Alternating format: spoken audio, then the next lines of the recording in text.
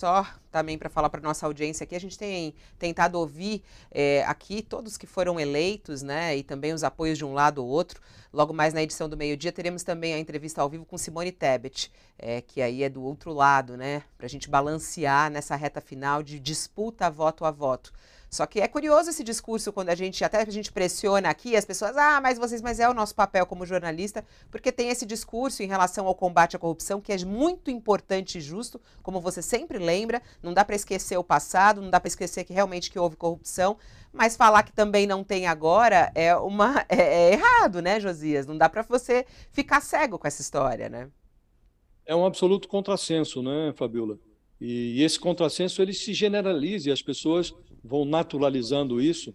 É, o governador diz: olha, aqui em Minas Gerais a gente preza muito o combate à corrupção, mas efetivamente no governo federal não há é, a, a, mesma preocupação. E aí você vê conversões é, em pleno voo, né, como o próprio ex-juiz Sérgio Moro, que sai brigado do governo, chutando a porta, acusando o presidente de interferir na Polícia Federal para evitar a apuração de denúncias contra os seus familiares, e agora está o Sérgio Moro apoiando o, o, o Bolsonaro, como se nada tivesse sido descoberto sobre ele. Então, é, é, preciso que a gente aponte essas incongruências, né, Fabílio, sob pena de a política virar um, um, um grande farisaísmo e nós aqui a coonestar. Então, podemos ser tudo, agora cúmplices da, da incongruência, jamais, né?